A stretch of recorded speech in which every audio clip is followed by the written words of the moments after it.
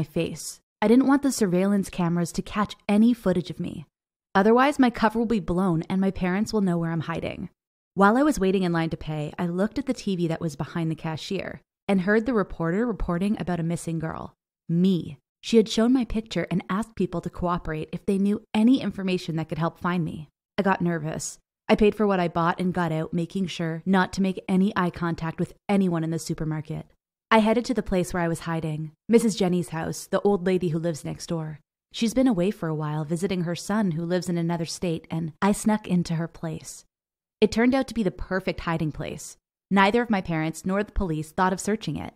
I got to the house and went through the kitchen's back door. I made sure not to turn any lights on so no one would notice that someone was living here. I slightly pulled the curtains and checked our house. Everything was normal, for now at least. Oh, you're asking why I'm doing this? It all started a month ago at my high school. Suddenly, being popular was about having expensive stuff. And by expensive, I mean really expensive. Things only my friend Tess could afford because her dad was a millionaire. She bought this designer bag that cost $20,000 and brought it to school. All the girls wanted to take a picture of it, and all the boys wanted to flirt with Tess because they thought she would shower them with gifts. You know, since she's got the money. And it worked. Tess started dating James, the most popular boy at school. I was jealous. Actually, all the girls were jealous. So they started doing the same, buying expensive stuff and showing them off, hoping it'll catch a guy's attention, or any attention for that matter.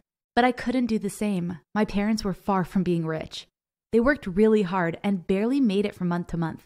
I knew I couldn't do anything about it. Yet, one day, while we were in the sports class, Anna, an old enemy of mine, called me out. So, Karen, how come we've never seen you bragging about something? Are you homeless? I was caught off guard by her nasty comment. I felt all the girls turn their heads to look at me. My face turned red. I wasn't sure if it was from anger or pure embarrassment, but I managed to say, I choose not to. I've got standards, you know. Anna laughed sarcastically. Yeah, right, Mother Teresa. We all know it's because you're poor. You've got nothing. I should have just let her comment slide and not make a big deal out of it. But oh no, she woke the giant in me. I couldn't keep my mouth shut, so I responded, Oh yeah? Just watch me. Anna responded, Oh, I will, homeless girl. I went home feeling defeated. What did I just get myself into? How will I prove her wrong? I literally got nothing. I tried convincing mom. I begged her to get me $200 to buy a fake designer jacket. She looked at me as if I was the craziest person in the world. $200 for a jacket? Are you insane? Do you know how many hours I worked to get that money?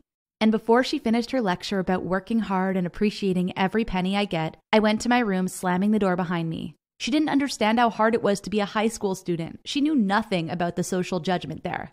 The next day, I pretended to be sick. I didn't want to go to school and face Anna or tolerate her nasty comments. Mom left me in bed, she was too tired to argue with me in the morning. Later, I went to get some breakfast, and just as I was about to open the fridge, I saw Dad's credit card on the kitchen counter. My eyes popped out and my heart started beating fast. I hesitated at first. Dad would kill me if I bought something with it, but I couldn't stop myself from thinking, couldn't it be a sign that I should use it?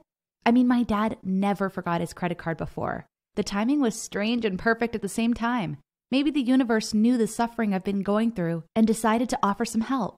I took the credit card and went online. I logged into a site for secondhand items, and after so much scrolling, I made up my mind to buy this $300 designer handbag. It looked unique with that owl picture sewn on its back with these shiny, colorful beads. I filled in the billing information and pressed confirm, and oh my god, just like that, it was mine. The website assured me that the bag will be delivered in two days. I was ecstatic. Finally, I would be like most of the girls at my school. Anna wouldn't pick on me anymore. I put the credit card back in its place and went on with my day. But something strange happened. The next day, while I was getting ready for school, I got a message on my phone saying, The bag you purchased is not for sale. Cancel your order right now. You'll get a refund. I looked at the number. It was so strange. It had way more digits than it should and too many zeros. It must be a joke. I Googled the number and got nothing. Tons of people buy stuff online every day. Maybe it was not for me. If it were, they would have sent me an email, wouldn't they? So I just brushed it off my mind and I went to school with so much pride, looking into Anna's eyes like I was a beast now. Just you wait two more days and I'll make sure you wish you were dead. However, later that day, I got another message. It said, Be ready to face the consequences. It's your choice. We'll come to your house and take the bag. My blood ran cold. Was it a real threat? If they know my house, who knows what they can do to me? Or my parents? I kept thinking while going hysterical in my room. I heard the doorbell and I freaked out. I went to answer it. I looked through the door's eyes and saw the delivery man. The bag has arrived. I opened the door, got the bag, and signed quickly while looking left and right to see if anyone was watching. Then I closed the door and went upstairs to check it. The bag looked like a normal bag. I opened it and looked inside, flipped it over, checked its pockets, but nothing came out. Why would they want it back? However, the messages wouldn't stop. Whoever was sending them kept threatening me that he'll do something to me. So I decided to disappear. Oh no, I didn't want to send the bag back. I just got it and I fell in love with it, and it would take two days for them to get it. And I didn't want to tell my parents the truth. Dad didn't notice that his credit card was used. He wouldn't know about it until the next month. Why would I expose myself? He would ground me. I'm not ready for it. Plus, I'm already curious. I need to know why they need to take the bag. At midnight, I had already made up my mind to live a while with Mrs. Jennings. I packed some of my things and left the house as quietly as possible. I made sure not to make any sound and I barged in Mrs. Jenny. I knew she kept the kitchen door open for her dog. And that was two days ago. I turned off my cell phone so no one could call me and kept watching the house. My parents freaked out and I saw the police arrive at our place to run an investigation, but I remained still. The first day went by while me checking the house. Nothing strange happened except for my parents not going to work, which pissed me off. I mean, I was hiding to observe and protect them, but now they're making it harder for me. The second day was boring as hell. I kept on watching. My parents were still looking for me, but the whole situation seemed calm. I was getting really hungry. Mrs. Jenny didn't really have the kind of food I would eat. So I put on my hoodie and cap and went to the convenience store to get some snacks. And that's when I saw the news report. I made myself a big bowl of ramen noodles and sat behind the window. I took out the phone in my pocket and turned it on. It's been two days since I opened it. The minute I unlocked it, I got tons of notifications, missed calls, messages, and mentions all over my social media accounts. I had it on airplane mode and turned off the Wi Fi. I checked Twitter first, and a new hashtag caught my eye. It was hashtag hope you are safe. I started scrolling through the tweets and saw that many of my classmates had pictures of me with captions like, Our heart goes out to you, Scarlett, praying that you are alive and well. Whoa, I didn't know that I mattered that much to them. Tess had maybe 200 tweets asking people to help. I scrolled down some more until I got to Jonathan's tweet. Jonathan was my lab partner. We only talked in class and did our projects together, and that was it. But to my surprise, he confessed his love in his tweet. He wrote, I didn't have the courage to say it before, but if you ever come back, I'll let you know. Was he kidding? Two days of me missing, and now I have a secret admirer like some kind of Hollywood actress? Why was he hiding? I was overwhelmed and kind of happy with all the attention I felt, so I decided to stay away for a little longer. I mean, the person who threatened me hadn't shown up yet, and I secretly wanted to see where this was going. I stayed a week at Mrs. Jenny's house. I watched my house, but I got obsessed with checking social media. I wanted to read every post they had about me. Yet, surprisingly, it all started going down on day six. People started going back to their lives. They stopped posting, and it was like they forgot about me. Then, one morning, I saw my mother coming back to the house. She looked tired and lost a ton of weight. She had dark circles around her eyes. My heart was broken to see her looking like this. Have I gone too far with the whole thing?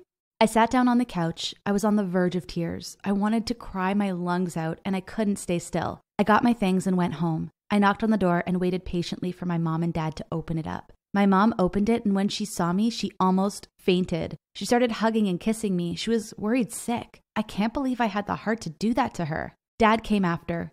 He hugged me too, and we all sat in the living room. They were eager to hear my story.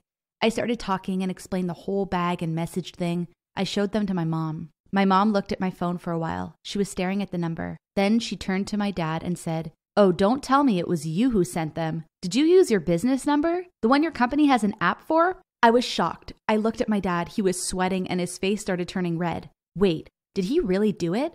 Mom had a scary look, so dad had to confess. Oh, honey, she used my credit card to buy a $300 bag. I had to teach her a lesson. I didn't know she'd take it that serious and run out of the house. Mom was pissed. She started yelling at my dad while he tried to calm her down, and out of nowhere, I started laughing. I laughed so hard at this. It was all one big lie. Then they joined me. I couldn't remember the last time I saw my parents looking happy like this. Two weeks later, the buzz about me went down. Dad told the police that I came home safe and sound. The police made sure not to leak any other information since I was not 18 yet. But I learned my lesson. My parents wanted me to keep the bag, but I insisted on returning it back. I didn't want to get any fake attention. At school, Tess, my only friend, was thrilled to see me.